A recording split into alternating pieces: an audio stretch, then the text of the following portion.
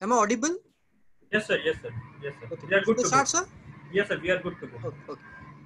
Uh, hello friends, this side Ashish Devalsi I hope आप मुझे पहचानते होंगे गाइज़ बहुत सारे स्टूडेंट का एक प्रॉब्लम मैंने देखा है uh, क्या होता है कि आप लोग जब जीएसटी पढ़ते हो जो सेकंड वॉल्यूम है जिसमें आपके theoretical chapter like registration returns payment of tax TDS TCS ये सब जो चैप्टर्स है, ये चैप्टर्स या रिफंड हो गया for that sake transitional provisions ये सब चैप्टर्स पढ़ते समय आप लोगों को बड़ी दिक्कत जा रही। द रीजन बींग कि सर ये चैप्टर बड़े थियोरिटिकल है। प्रैक्टिकल चैप्टर तो हम बहुत आसानी से कर ले रहे लेकिन जब थियोरिटिकल की बात आती है तो बहुत दिक्कत जा रही। गाइज़ मैंने आपके लिए वो जो चैप्टर्स है, जो थियोरिटिकल चैप्टर्स है उसको शॉर्ट फॉर्म में आ, बनाया है। ये नोट्स जो है ये बहुत ही शॉर्ट फॉर्म में बनाया आपके लिए। बस आप इतना भी पढ़ के गए तो पूरा चैप्टर कवर हो जाएगा। मोर एवर इसमें आपको मैंने उसके साथ साथ अमेंडमेंट्स भी कवर किए जो आपके नवंबर या दिसंबर एज द केस में भी जो भी अटेम्प्ट आपका हो उसके लिए एप्लीकेबल रहेंगे राइट वो पूरे अमेंडमेंट्स ये फ्लोचार्ट वाइज चैप्टर जो मैंने नोट्स बनाए हैं उसमें एप्लीकेबल है। एग्ज़ाम्पल के तौर पे मैंने आपको आज payment of taxes TDS and TCS जितना भी हमारा कवर हो जाए, वो हम लोग कवर करने की कोशिश करेंगे। गाइज़ वेरी इंपॉर्टेंटली कि ये पेमेंट ऑफ़ टैक्सेस वाला एक चैप्टर देखने जाएँगे आप तो it is around regular notes में अराउंड 40 35 टू 40 पेजेस का मैंने आपको पाँच पेज में फाइव पेज में पूरा चैप्टर रिकॉल करवा के दिया आप एक बार ये चैप्टर देखेंगे, जब मैं पढ़ा रहा हूँ अभी उसके बाद आप अगर अपने रेगुलर नोट्स में जाके देखेंगे, आपको सब कुछ समझ जाएगा। मोर एवर इसमें जो अमेंडमेंट्स है, वो अमेंडमेंट्स भी मैंने कवर किए हैं ओके सो ये chapter again very important I am starting this इसमें बहुत इंपॉर्टेंट अमेंडमेंट हुए। आप ये वीडियो को लास्ट तक देखो ताकि पूरे अमेंडमेंट्स जो हुए हैं, वो मैं सब आपको बता दूँ ओके चलो लेट स्टार्ट देखो। पेमेंट ऑफ़ टैक्सेस क्या होता है? मैं बेसिक से आपको बताता हूँ। कि जो भी लाइबिलिटी है आउटपुट टैक्स लाइबिलिटी ध्यान से सुनना आउटपुट टैक्स लाइबिलिटी आप कोई गुड्स का सप्लाई करते हो जीएसटी में या सर्विसेज़ का सप्लाई करते हो। गुड्स या सर्विसेज़ का सप्लाई करते समय आप, अगर आप इंट्रास्टेट सप्लाई कर रहे हो तो आप सीजीएसटी या एसजीएसटी का कलेक्शन करते हो और वो गवर्नमेंट को भरना पड़ता है। और अगर आप इंटर स्टेट सप्लाई करते हो तो आपको आईजीएसटी लोगों से आप कलेक्ट करते हो, बराबर?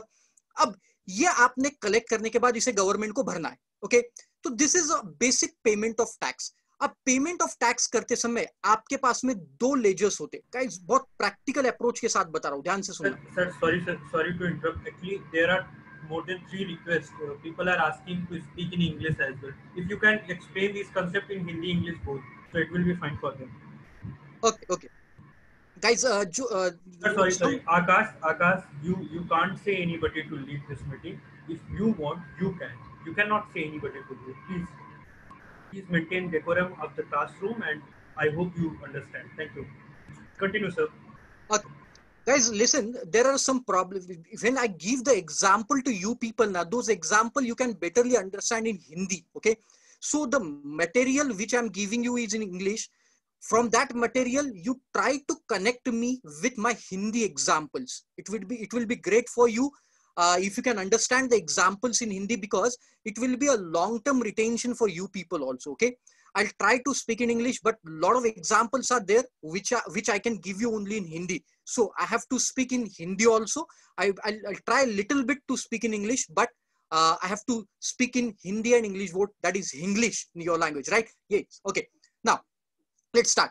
So uh, there are two types of ledger guys. One is electronic cash ledger another is electronic credit ledger right? So whatever liability you collected uh, from the supply of goods or services that liability you have to pay to the government right? wo liability aapko government ko pay karna hai for that sake for that liability you can use your electronic credit ledger. How electronic credit ledgers amount been collected? Sir वो जो amount है, जो भी आप goods का inward supply करते हो inward supply मतलब क्या? Whatever goods you have purchase on that purchase you have already paid the taxes those taxes are shifted to electronic credit ledger जो भी आप परचेस करते हो इलेक्ट्रॉनिक क्रेडिट लेजर में चले जाता है। नाउ अब ये इलेक्ट्रॉनिक क्रेडिट लेजर का यूज़ आप आपके पेमेंट ऑफ़ टैक्सेस के साथ कर सकते हो। ना अब अमेंडमेंट क्या आया? ध्यान से सुनना दिस इज़ अमेंडमेंट अमेंडमेंट यह आया कि आपकी लाइबिलिटी देखो मैंने यहाँ पे दिया है आपको if you can see there there can be three types of liability पहले आपका आईजीएस की लाइबिलिटी हो सकता है your can be C G S T liability of yours और there can be S G S T और UTGST liability if you are supplying the goods in intrastate course right so मान चलो कि आपकी IGST liability है hundred rupees की। ध्यान से सुनना। Your IGST liability is hundred very important concept because amendment है। हंड्रेड रुपीज़ की आपकी आईजीएसटी की लाइबिलिटी है। Now you have a credit of IGST आपने जो परचेस किया था, वो परचेस पे, ध्यान से सुनना, वो परचेस पे आपका आईजीएसटी का क्रेडिट है, आपका सीजीएसटी का क्रेडिट है और आपका एसजीएसटी का credit there are three credits in your electronic credit ledger IGST credit CGST credit and SGST credit ना what is the point sir जो आईजीएसटी की आपकी लाइबिलिटी है वो आईजीएसटी के लाइबिलिटी के साथ आप पहले कौन सा क्रेडिट यूटिलाइज कर सकते हो first which credit you can utilize with that IGST liability. The government said if your uh, if your liability is IGST liability, then you must use first the credit of IGST, then the credit of CGST, and then the credit of SGST. I'll give you an example. If you have pen, you can write down. Let's say your IGST liability is 100 rupees. Okay. आपकी IGST liability hundred है मतलब आपने जो good supply किया उसकी liability आपकी hundred rupees है late say कि अब आपने जो परचेस किया था इनवर्ड सप्लाई किया है वो इनवर्ड सप्लाईज पे आईजीएसटी का क्रेडिट पड़ा हुआ है सिक्सटी रुपीज़ का okay sixty rupees credit then your CGST credit is thirty rupees and your SGST credit is let say ten rupees right sixty thirty and twenty say right sixty का IGST का credit thirty का CGST का and twenty का SGST का credit okay so now you have to pay the IGST liability तो आप उसको कैसे पे करेंगे गाइस तो सबसे पहले आईजीएसटी के लाइबिलिटी के साथ आपको आईजीएसटी का क्रेडिट यूज़ करना है। मतलब हंड्रेड में से पहले आप सिक्सटी माइनस करेंगे ओके अब आपकी लाइबिलिटी बची फोर्टी रुपीज़ ये 40 में से आपके पास क्रेडिट कितना बचा है बताओ। सीजीएसटी का बचा हुआ क्रेडिट है आपके पास। Let's wait wait wait Akash when wait आपका सीजीएसटी का क्रेडिट बचा हुआ है गाइस थर्टी रुपीज़ का एंड एसजीएसटी का क्रेडिट है ट्वेंटी रुपीज़ का। So you have to pay you have to utilize first the CGST credit of thirty and जो ट्वेंटी रुपीज़ का एसजीएसटी का क्रेडिट है, उसमें आप दस रुपए का क्रेडिट यूज़ कर सकते हो ओके सो आपको जो क्रेडिट यूटिलाइज करना है, उसका वो कैसे, कौन से ऑर्डर में करना है, वो दिया है आपको section 49 B read with rule 88 A में।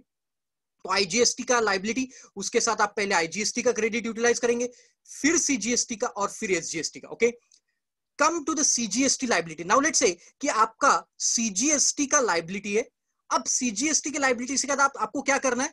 पहले आपको आईजीएसटी का क्रेडिट यूटिलाइज करना है। Very important you have to use first the credit of IGST and then CGST का credit you getting the point तो पहले ऐसा था कि सीजीएसटी के लाइबिलिटी के साथ आपको पहले सीजीएसटी का क्रेडिट यूटिलाइज करना होता था। अब ऐसा नहीं रहा। आपको सीजीएसटी के लाइबिलिटी के साथ पहले आईजीएसटी का अगर कोई क्रेडिट है तो उसको यूटिलाइज करना है। और फिर अगर कोई बचता है तो फिर आपको लाइबिलिटी बचती है तो फिर सीजीएसटी का क्रेडिट यूटिलाइज करना है। रिमेंबर गाइज़ सीजीएसटी के लाइबिलिटी के साथ आप, मैं क्या बोल रहा हूँ, ध्यान से सुनना। सीजीएसटी के लाइबिलिटी के साथ आप एसजीएसटी का क्रेडिट यूटिलाइज नहीं कर सकते। एंड एसजीएसटी के लाइबिलिटी के साथ आप सीजीएसटी का क्रेडिट यूटिलाइज नहीं कर सकते हो। तो ये सीजीएसटी और एसजीएसटी इसका क्रेडिट आप इंटर यूटिलाइज नहीं कर सकते ओके एंड अगर आपकी लाइबिलिटी एसजीएसटी की है तो आपको पहले आईजीएसटी का क्रेडिट यूटिलाइज करना है और फिर अगर लाइबिलिटी बचती है तो आपको एसजीएसटी वहाँ पे करेक्ट कर लो गाइस यहाँ पे सीजीएसटी नहीं, यहाँ पे प्लीज़ मेक इट करेक्ट आपको एसजीएसटी मैं आपको नोट्स भी अटैच करके दूँगा इस लेक्चर के साथ। तो यहाँ पे एस करना पड़ेगा।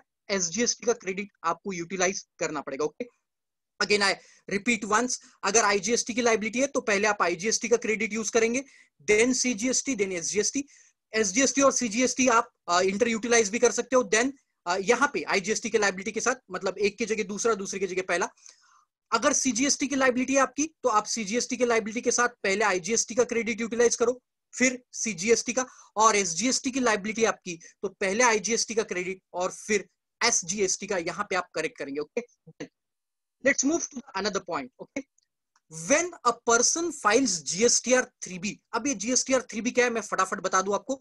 लिसन गाइस जीएसटी में सेल्फ असेसमेंट ऑफ़ लाइबिलिटी का कॉन्सेप्ट है। मतलब क्या?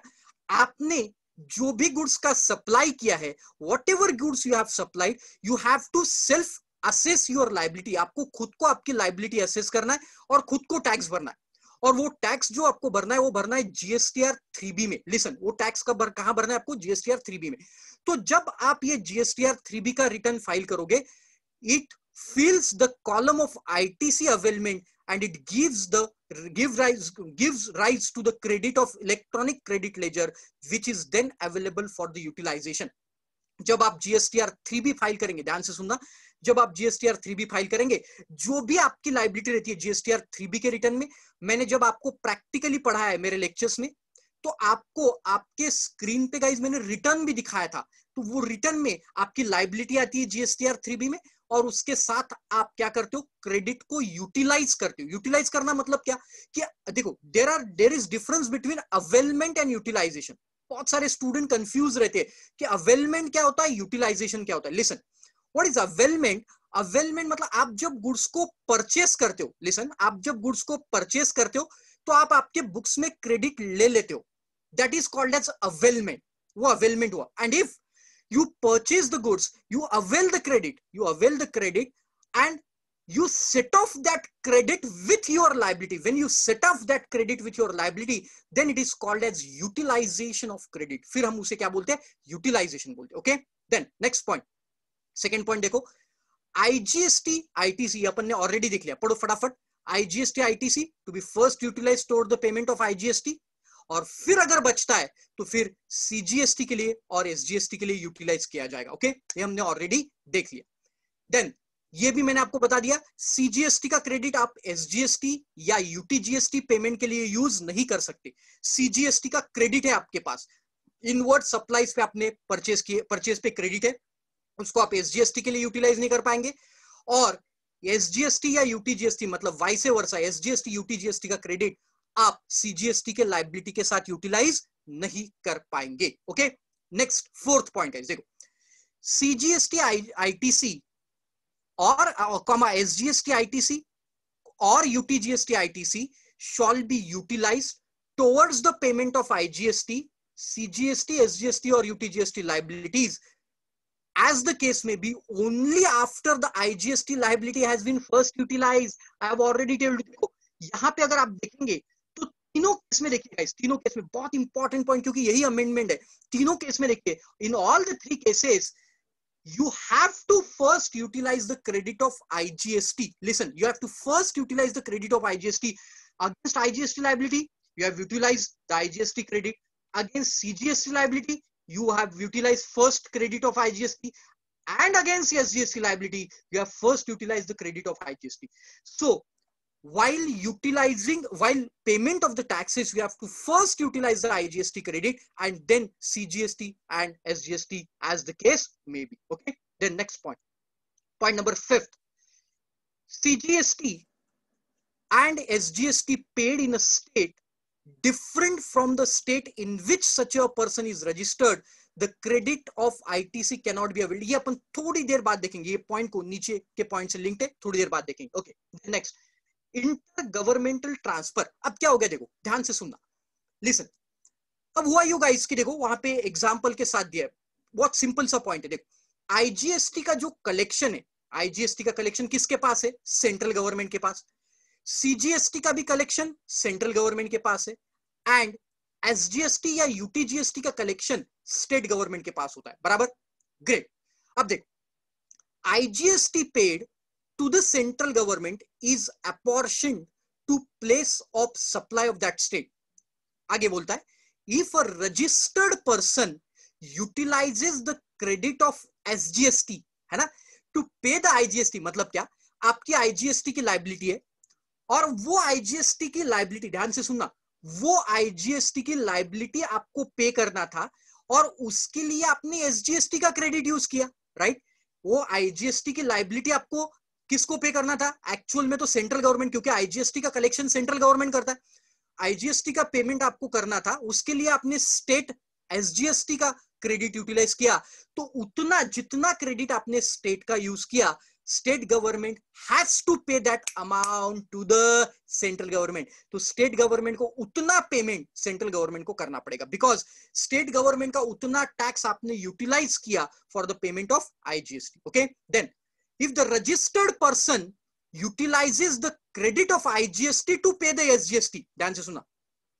अगर कोई पर्सन ने, अगर कोई पर्सन ने आईजीएसटी का क्रेडिट यूज़ किया for the payment of SGST state government का टैक्स पे करने के लिए देन सेंट्रल गवर्नमेंट क्योंकि आईजीएसटी यूज़ किया है इसलिए central government will pay that amount to the state government okay but यहाँ सेंट्रल सीजीएसटी का पॉइंट नहीं दिया है वो इसलिए नहीं दिया क्योंकि आईजीएसटी और सीजीएसटी ये दोनों टैक्सेस सेंट्रल गवर्नमेंट ही मैनेज करता है इसलिए यहाँ पे सीजीएसटी और आईजीएसटी का कोई पॉइंट नहीं दिया है okay should I move ahead yes great next liability on account of river this is very important point seventh point जो रिवर्स चार्ज मैकेनिज्म में आप टैक्स पे करते हो आरसीएम आप लोगों ने चैप्टर देखा है, वो आरसीएम की लाइबिलिटी हमेशा हमेशा और हमेशा कैश लेजर से पे करना है।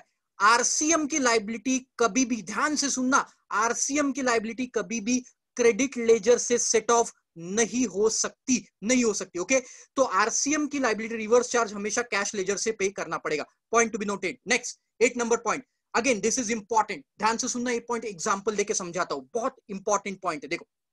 ना when a person claims the refund of tax in electronic credit ledger is debited and corresponding entry has been passed in books of account. If the refund claim is rejected fully or partially the amount debited to the extent of rejection shall be recredited sir कुछ भी समझ में नहीं आया बिल्कुल चिंता मत करो देख सिंपल मान के चलो कि आपका पचास लाख रुपए का सीजीएसटी का बैलेंस पड़ा है क्रेडिट लेजर में और 50 lakhs rupees का SGST का balance there is a 50 lakhs balance of credit in your SGST account in electronic credit ledger and 50 lakhs balance in SGST credit ledger. Now, you want the refund. Now, you want the refund of that 50 50 lakhs. So, you applied for the refund, right? तो आपने refund के लिए apply किया and government approve your refund refund approve कर दिया पहले तो। पहले केस में उन्होंने डॉक्यूमेंट देखा और उनको लगा यस ये डॉक्यूमेंट सब सही सही है, उन्होंने रिफंड ग्रांट कर दिया. Now you took that refund but afterward क्या हुआ देखो? आफ्टरवर्ड क्या हुआ कि उनको बाद में पता चला कि नहीं, ये रिफंड जो हमने इशू किया, वो गलत किया।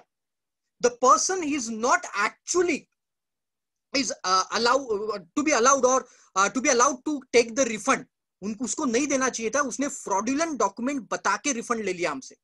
Now you want to reverse that refund तो ऐसे केस में क्या होगा गाइज़ कि वो जो बैलेंस है, वो जो आपको ऑलरेडी रिफंड मिला है तो क्या अब वो गवर्नमेंट को कैसे पे करेंगे? तो उन्होंने बोला है कि जो क्रेडिट देखो, आपको क्रेडिट लेजर से आपको पैसा मिला था, वो ओरिजिनली अमाउंट कहाँ था? वो क्रेडिट लेजर में था।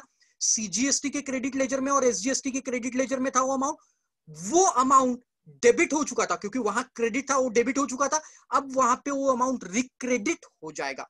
मतलब अब आपका रिफंड अगर रिजेक्ट हो गया तो अमाउंट आपको वापस वापस पे नहीं करना पड़ेगा। देखो पे नहीं करना है गवर्नमेंट को, वो अमाउंट वहाँ पे वो रिक्रेडिट कर देंगे मतलब वो फिर से वहाँ रिफ्लेक्ट होने लगेगा, अगर आपने रिफंड प्रॉपर डॉक्यूमेंट पे नहीं लिया है। Okay great then credit ledger में include the ITC on inward supplies from registered tax payer ITC available on the basis of distribution of IS distribution from ISD ये सब चीज़ें मतलब इलेक्ट्रॉनिक क्रेडिट लेजर में आईटीसी कहाँ कहाँ से आता है? जो आप इनवर्ड सप्लाईज पे गुड्स लेंगे अनरजिस्टर्ड पर्सन से कुछ परचेस किया है तो आपको रिवर्स चार्ज में भरना पड़ता है। इनपुट सर्विस डिस्ट्रीब्यूटर से, जो गुड्स आपके सेमी फिनिश्ड गुड्स है या फिनिश्ड गुड्स पे जो आईटीसी पड़ा वो सब आईटीसी आप आपके इलेक्ट्रॉनिक क्रेडिट लेजर में ले सकते हो। क्या बोलते हैं आगे देखो held in stock on the day immediately preceding the date on which the tax payer becomes liable provided that he applies the registration within thirty days from becoming liable guys देखो let say take an example again this is important point कि आज late से आज की date है twenty six of September okay मैं example देकर समझाता हूँ। आज आपका टर्नओवर 20 लैक्स को क्रॉस कर गया। You become liable for liable to take the registration guys ध्यान से सुनो मैं क्या बोल रहा हूँ। Now you become liable to take the registration अब आपका बिज़नेस तो पहले ही शुरू हो गया था। लेट्स एक सितंबर से चालू हो गया था आपका business you started the business from first September but your turnover crosses on 26 September, 20 lakhs crosses on 26 September. Now, you are liable to take the registration on 26th day of September. Listen, you are liable to take the registration on 26th of September. Now, government बोलता है कि जिस दिन आप liable हुए, the day on which you become liable to take the registration, you have to take the registration within 30 days from 26th of September, right? So if you applied within 30 days from 26 September, if you applied within 30 days from the 26 September, तो आपने जो पहले purchase करके रखे ध्यान से सुनना whatever purchases you have made from 1st of September, that is from when you have started the business, from you have, you have started the business, first September to 26 सितंबर वो पूरा क्रेडिट आप आपके books में ले सकते हो provided you took the registration within 30 days from the day on which you becomes liable to take the registration okay great then 10th point order for discharge of liabilities through electronic credit ledger can be self self tax asset of the previous periods, current period, and then dues of 73 section and 74 section. मतलब क्या? आप ऐसे नहीं कर सकते। मान के चलो कि आपकी आपने रजिस्ट्रेशन लिया था अप्रैल महीने में। अप्रैल से सितंबर तक आपके पूरे रिटर्न्स पेंडिंग है आपकी लाइबिलिटी पेंडिंग तो आप बोलेंगे, सर, पहले ना तो हम अगस्त की लाइबिलिटी भर देते। फिर हम जुलाई की भरेंगे। फिर हम सितंबर ऐसे आपके हिसाब से नहीं चल सकते। आपको स्टार्टिंग से लाइबिलिटी भरना पड़ेगा मतलब पहले मंथ से। The day on which you have taken the registration अप्रैल की पहले, फिर मई की, फिर जून की, फिर जुलाई की, ऐसे आपको कंटिन्यूअस कंटिन्यूअस आपको एक एक मंथ का लाइबिलिटी पे करना पड़ेगा। आप कभी भी कोई भी मंथ का ऐसे शफल करके पेमेंट नहीं कर सकते ओके ये पॉइंट मैंने ऑलरेडी बता दिया payment of taxes through electronic sorry ये हो गया अपना यहाँ जो पूरा देखा वो क्रेडिट लेजर वाले पॉइंट थे ना payment of taxes through electronic cash ledger ये कैश लेजर क्या होता है? बहुत सिंपल है। लिसन बहुत सिंपल चीज़ मैं आपको बताता हूँ। जैसे आपका पेटीएम रहता है पेटीएम पेटीएम में क्या करते हो? आप पहले बैंक से पेटीएम में रिचार्ज करते हो और फिर पेटीएम से पेमेंट करते हो। सिमिलर जीएसटी का पोर्टल है। जीएसटी के कैश लेजर में आपको पहले बैंक से पैसा डिपॉजिट करना है just like Paytm cash ledger में आपको पैसा डिपॉजिट करना है और फिर वो कैश लेजर से आप गवर्नमेंट को पेमेंट कर सकते हो right so you have to first deposit the amount from your bank to the electronic cash ledger and then from that cash ledger you can make the payment of GST okay so similarly वहाँ दिया देखो any amount paid by the tax payer and TDS TCS will be claimed and reflected in electronic cash ledger तो जो भी amount आप bank से डालेंगे, या आपका किसी ने टीडीएस काटा है जीएसटी का या टीसीएस काटा है, अपन आगे देखेंगे, वो अमाउंट पहले इलेक्ट्रॉनिक कैश लेजर में आएगा।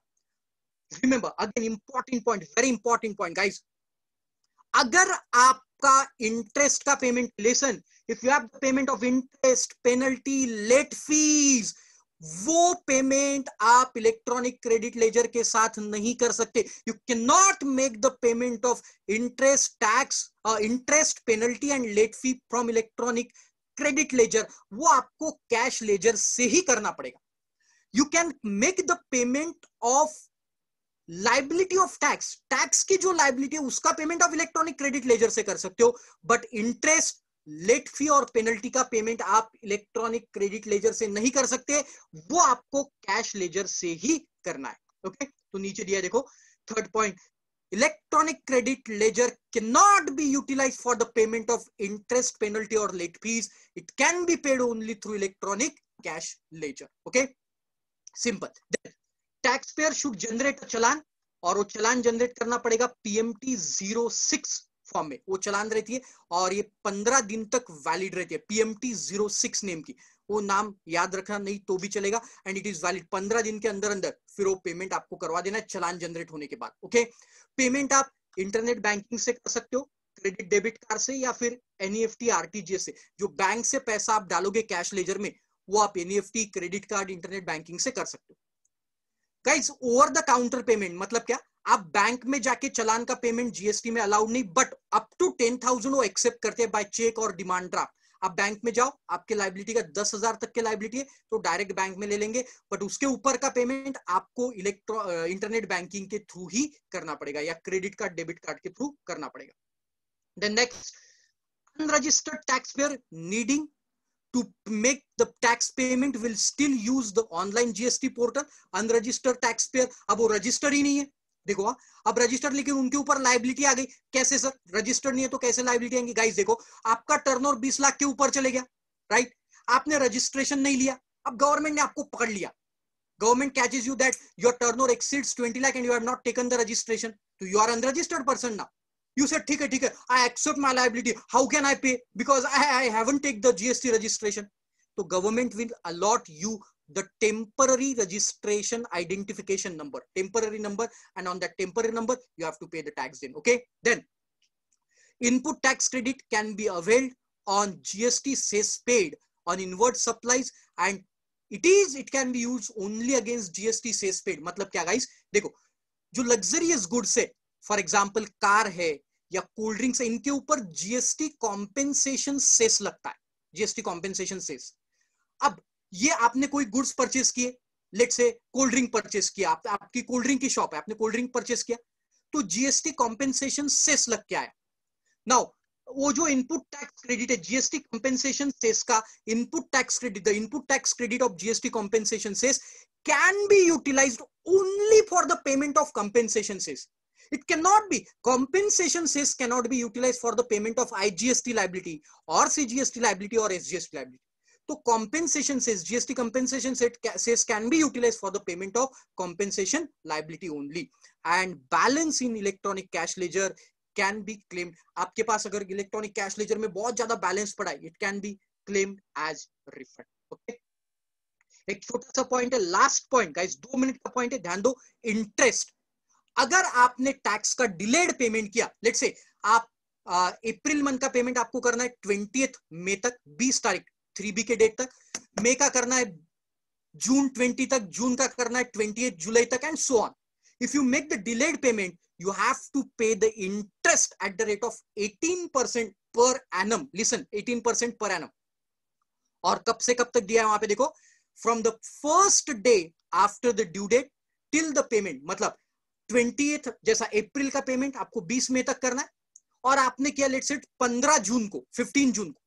So your liability of interest start on twenty first of May first day after the due date so twenty May is your due date liability will start on twenty first of May till the date of payment that is fifteenth of June okay and in case of undue और excess ITC this is important or undue or excess reduction in output tax liability interest would be 24 percent मतलब क्या अगर आपने गलती से बोलो या फिर जानबूझ के ज़्यादा क्रेडिट ले लिया if you claim the excess input tax credit excess input tax credit or you have shown undershown the liability you have understated the liability then you have to pay the interest at the rate of 24 percent so normally तो 18 percent है but अगर आप जानबूझ के ये सब करते हो तो आपकी लाइबिलिटी कितनी हो जाएगी? 24 percent so this is all about the payment of tax it is divided only into two parts electronic credit ledger and electronic cash ledger दोनों पार्ट मैंने आपको समझाया, बस इतना भी पढ़ के गए आई थिंक आपका पूरा टॉपिक कवर हो जाएगा। गाइज़ इसके ऊपर मैं ये नोट्स भी सुपर प्रॉफ को दूँगा, जो आपको प्रोवाइड कर देंगे। हैप्पी टू सी यू आपको अगर कुछ क्वेश्चन है तो आप मुझे पूछ सकते हैं। Thank you sir thank you very much so बहुत सारे बच्चों का सपोर्ट पे कॉल आता है बहुत सारे स्टूडेंट का और हमारे से पूछा जाता है कि भाई अमेंडमेंट का क्या है कब तक आएगा और सर से क्वेश्चन है तो कैसे पूछे? सो so, मुझे नहीं लगता कि इससे बेहतर टाइम आपके लिए हो सकता है आप सभी के लिए। सर सामने है आपका कोई भी क्वेश्चन है रिलेटेड टू अमेंडमेंट या क्लासरूम में कोई दिक्कत आ रही है आपको जो आपने सब्सक्राइब किया हुआ है तो आप अभी पूछ सकते हैं। I have all sir the fifth point fifth point Aditya can you elaborate कि फिफ्थ पॉइंट सर ने क्या कुछ टॉपिक नेम बता दूँ तो सर शायद एक्सप्लेन कर पाए। आपको क्या इशू आ रहा है फिफ्थ पॉइंट में? अच्छा ये पॉइंट वो पॉइंट टीडीएस टीसीएस के बाद होगा यार कवर कौन सर कौन पूछ रहा है? आदित्य करके आदित्य। कौन? आदित्य आदित्य। आप वो फिफ्थ पॉइंट है ना इसके नीचे टीडीएस और टीसीएस का टॉपिक है यार उससे रिलेटेड है। थोड़ा सा आप अगर पेशेंस रखेंगे मैं अगले लेक्चर में इसको कवर कर डालूँगा नेक्स्ट सेशन मंडे को है सर का उसके बाद प्रॉब्लली ट्यूसडे को होएगा सेम टाइम पे।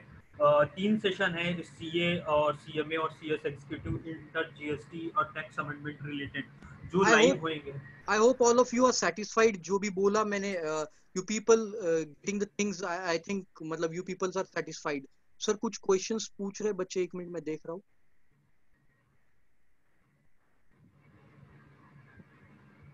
Want to ask crack cs exam in 21 for cs foundation.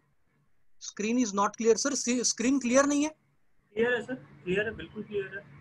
अगर किसी को स्क्रीन क्लियर नहीं दिख रही तो एक बार आप लॉग आउट करके दोबारा मतलब सर नोट में बच्चों के लिए दे देता हूँ तो student can go through the notes हाँ ये ये आपके क्लासरूम में ही अपलोड हो जाएँगी। और आप वहाँ से इसको डाउनलोड करके जैसे आप पहले डाउट गाइस आपका और अमेंडमेंट से रिलेटेड या फिर और कुछ चीज़ों से रिलेटेड आप पूछ सकते हो मुझे please please you are very free to ask पढ़ना कैसे है क्या करना है? उसके लिए क्या मैं एक स्पेशल सेशन लू? या फिर अमेंडमेंट्स में आपको कोई दिक्कत है तो आप या मुझे कुछ हाँ डेफिनेटली या कोई और टॉपिक अगर आप चाहते हैं कि कुछ ऐसा है जो आपको क्लासरूम में नहीं समझ में आया, आप चाहते हैं Yes, exactly. एलेबोरेट करें लाइव सेशन में तो आप उसके बारे में भी हमें बता सकते हैं। सो दैट कि हम उसके बारे में नेक्स्ट सेशन प्लान करके और आपके सामने फिर प्रेजेंट कर पाए उसको। एंड साथ में मैंने आपको C A inter C S executive और सी एम ए इंटर का व्हाट्सएप ग्रुप सुपर प्रॉप्स का साथ में टेलीग्राम चैनल भी हम मैं, का लिंक मैंने आपको चैट पे शेयर किया हुआ है। अगर आप इसको ज्वाइन करेंगे तो जो भी हम इस तरह के सेशंस करते हैं जहाँ पे अ, सर आके आपके लाइव डाउट क्लियर करते हैं या कुछ टॉपिक इलेबोरेट करते हैं तो उसका नोटिफाई भी किया जाएगा और आप इसलिए उसको ज्वाइन कर पाएँगे। सो अभी तो मुझे कोई क्वेश्चन दिख नहीं रहे हैं सर तो I hope every is satisfied thank you guys thank you so much thank you we are love you all love you all and we will meet at the same time on Monday 6:30 PM with the Ashish Monday को again sir important topic लूँगा. So I request everyone to come on come live at this time only Satyam sir will inform you right तब तक के लिए stay stay happy stay healthy okay किसी का question है sir एक minute Okay, thank you very much. Okay, Thank you, Prashant. Thank you Prashant. very much. Thank चलो you. bye bye. Take care. Bye. Take care, sir. Thank you. Thank you.